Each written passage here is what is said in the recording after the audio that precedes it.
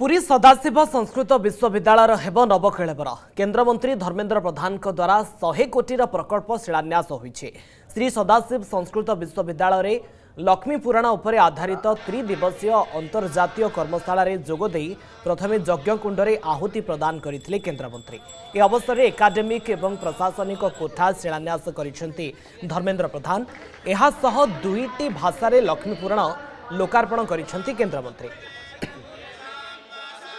ଆପଣଙ୍କ ସାମ୍ନାରେ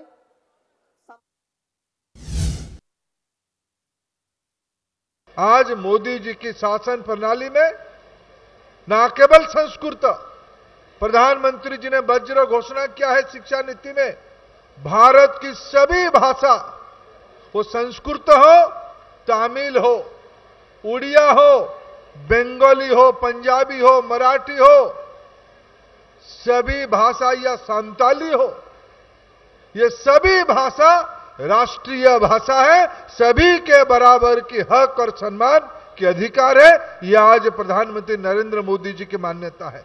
आज हम सभी की गरिमामय उपस्थिति में, महाप्रभु के आशीर्वाद से, माँ लक्ष्मी के आशीर्वाद से, आज 100 करोड़ रुपया की विभिन्न प्रकल्पों की, अनेक प्रकल्प आज श्री गणेश आरंभ करागला शुभारंभ है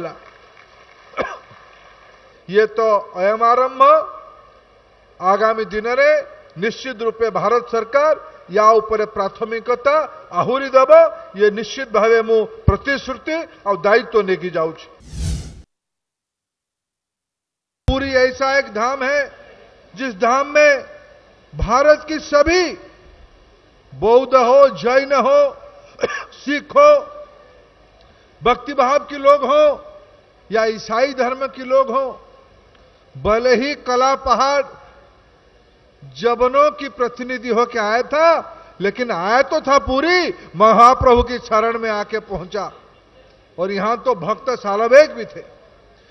पूरी भारत की जीवन प्रवाह की, सहिष्णुता की, भाईचारा की, समरसता की, एक अनन्य प्रयोगशाला है। आज से लगभग 500 साल पहले बलराम दास जी ने जो साहित्य लिखा, जिसके बारे में मेरे पूर्व वक्ति वक्ताओं ने चर्चा किया श्रिया चांडालुनी का प्रसंग आपके सामने लाया गया।